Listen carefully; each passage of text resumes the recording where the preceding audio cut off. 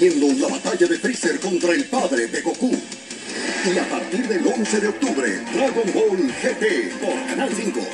Periodista.